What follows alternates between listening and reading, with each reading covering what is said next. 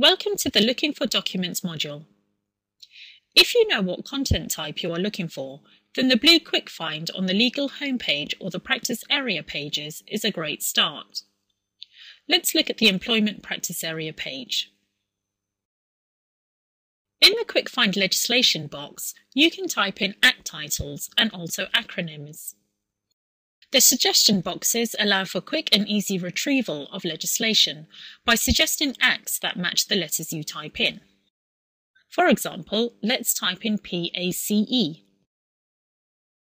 In the Quick Find Journal box, you can search over the full text of journals and our journals index. In the Quick Find Forms and Precedents box, you can search over 25,000 ready drafted documents. In the Quick Find Find a Source box, you can look for sources in your subscription.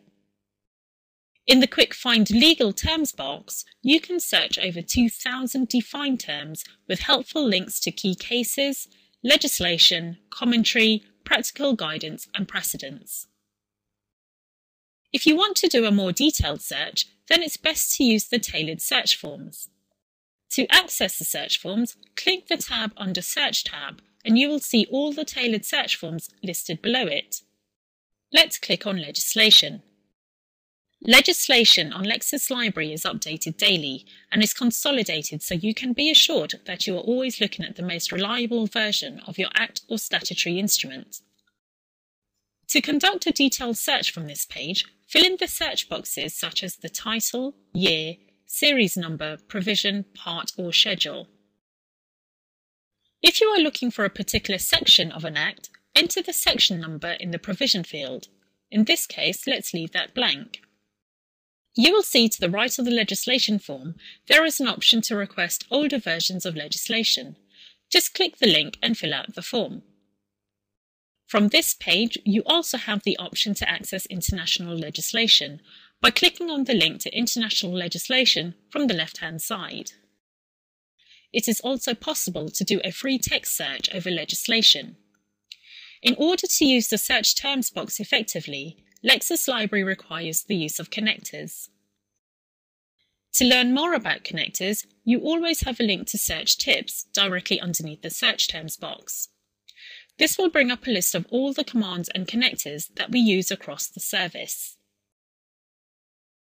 Let's click on the cross on the top right hand corner to close the window. For example, you can always use the within connectors by entering WP.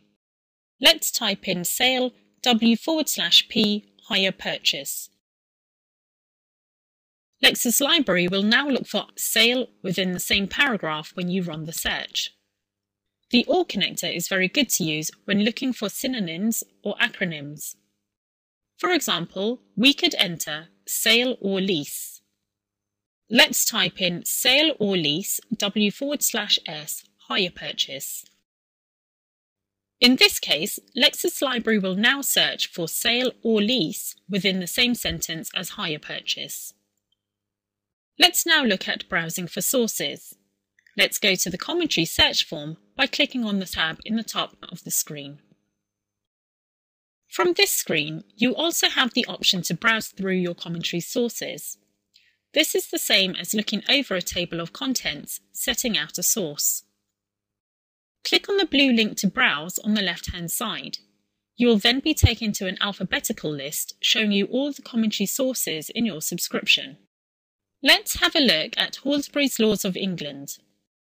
Click on the plus sign next to Halsbury's Laws of England in order to expand the title. Now you can scroll through all the volumes. To drill down in a volume, click on the plus icon beside a volume title. Let's click on the plus sign next to the Animals volume, and then click on the Introduction hyperlink. You can drill down until the lowest node, which is the document page. This will render the document page. Let's return back to the home page by clicking on the Lexis Library icon.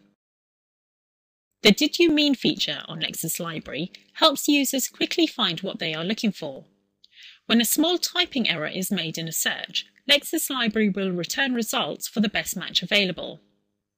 Let's type unfair dismissal with a deliberate typo into the Explore box. Lexis Library indicates at the top of the screen that we have searched for unfair dismissal with the spelling mistake, but it then asks, did you mean unfair dismissal with the correct spelling? By clicking this link, you get a wider result set. You will see Lexis recommends at the top of the results page in a green box. This is where we suggest the most relevant result to you. In this example, the search logic realized you were searching for a legal term, so it presents the legally defined term as well as helpful links to key legislation, cases, Halsbury's definitions, etc. To read more, click on Read More. This is a fuller explanation of the legal term, definition, and links to related terms, indexes, and links to practical guidance. Let's go back to our results by clicking on the Back button. It can sometimes be difficult to decide which result is the most suitable to read. To help you decide, you can use the Document Preview function on the right-hand side of a list of results. Click on the Preview button to open up a panel, displaying some of the text of the document. Your search terms are highlighted in yellow. Click on the arrow at the bottom to scroll down the text. If you decide you would like to read further, you can click on Go to Full Document at the bottom of the panel. If you decide you want to look at other documents, click on Close Preview in the top right-hand corner. To shortlist documents from your results that you would like to collate for printing, emailing or downloading, click on My Documents button to the right of each result. When you add a document to the folder, the final column will display the words Added to My Documents. This is a hyperlink direct to the folder.